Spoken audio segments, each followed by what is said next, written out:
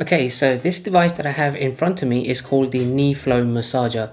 I bought this recently on Indiegogo for a super early bird price of $115.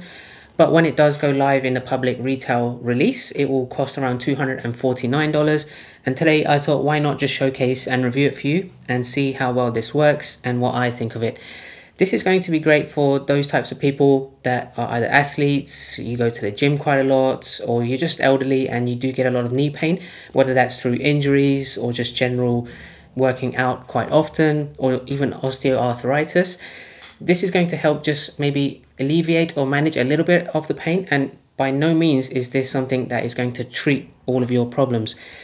As a disclaimer, I want to mention this is not a medical device and I'm not providing any medical advice that this is going to give you complete eradication of all of your pain or injuries that you have. You always need to consult with your doctor or physician to make sure something like this is suitable for you.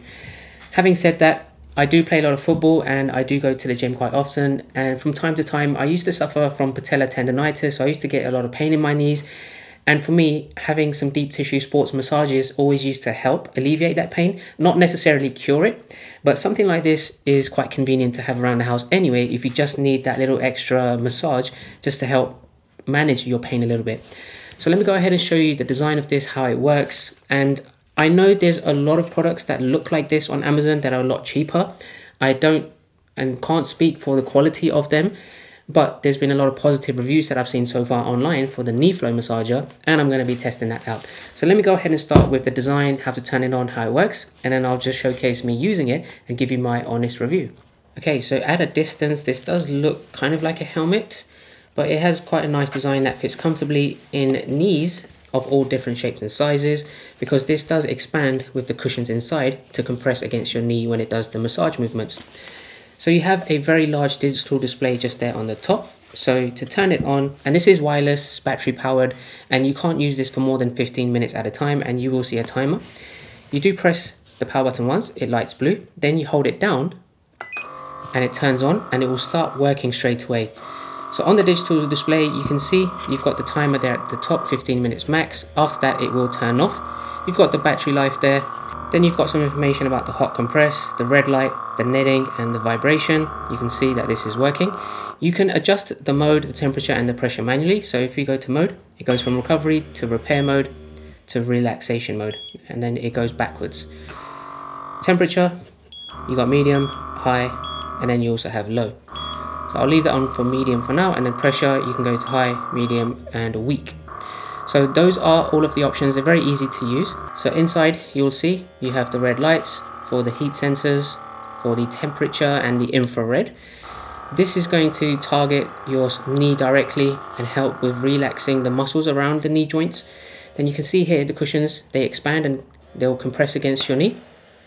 And every 10-15 seconds, it's like the air goes out of it and it softens and you'll notice that they come back in and tighten around your knees and this happens from the front and the sides and the back of the knee joints as well. As you select the higher pressure, this will compress even further in to make it tighter around your knees.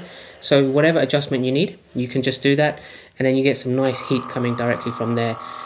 You also have the Velcro strap to then just connect this to tighten it up to your knee. To turn it off before it ends, just hold down the power button for about 5-6 seconds and it turns off. In the box to charge it up, you get a USB cable which is powered by a DC input. And that is just there on the right hand side. And you cannot use this whilst it's charging. You can only use it on its wireless capability just so that it doesn't prevent overheating and overuse. It also comes with a small user manual just to get you up and running and give you some information about the device so very simple. Let's go ahead and try it out for myself. Okay, now I've just strapped this onto my knee. Let's turn it on.